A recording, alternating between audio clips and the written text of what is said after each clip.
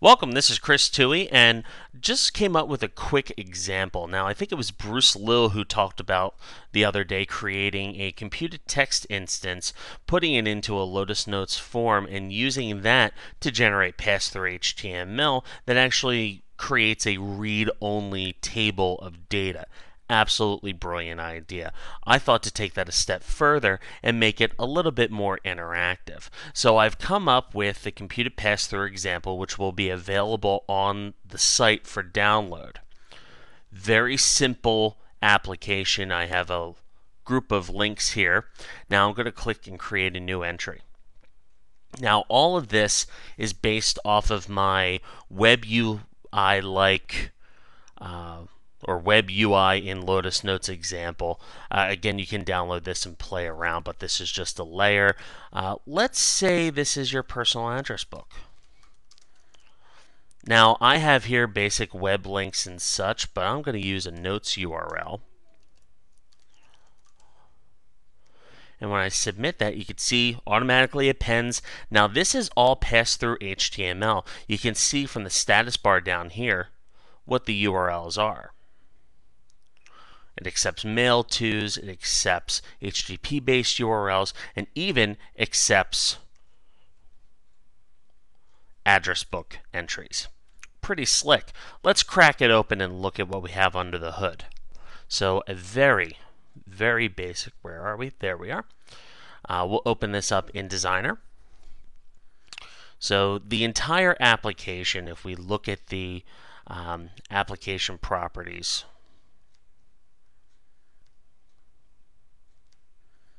There we go. So we're going to look at the launch.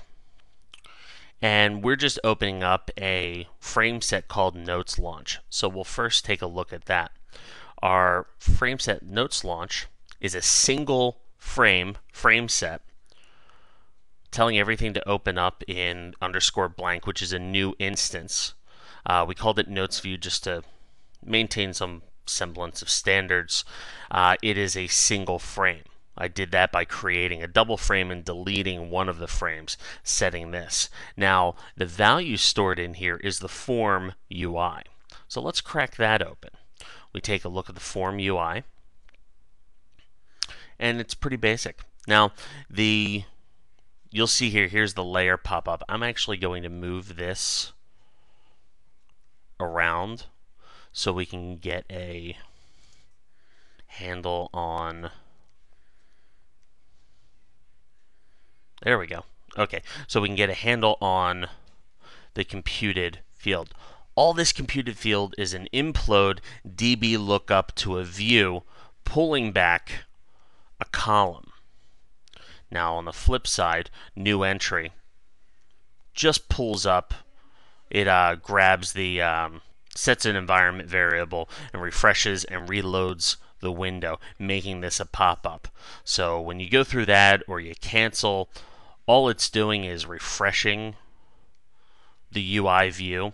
So it's it's cycling through makes it look like it's actually doing something. That's not the purpose of this though. Let's go into the view. Now our view, this is where we're running the DB column. All that is is some very simple pass-through HTML. I'm creating a P entry, uh, paragraph, uh, using an A link setting the target frame just to make sure that it accepts the underscore blank and opens in a new instance using field 2 and field 1, arbitrarily named. I would have used title and label, but I didn't want anyone thinking that this functionality was specific to notes item names. Now, I also included the form document here it's not used. This is a very simple example of using a a non form equals document interface in creating notes applications. It's also pretty slick and a great proof of concept. I'm just going to say no here. Great proof of concept for this approach.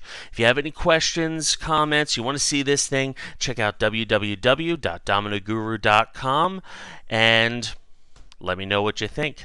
Take care.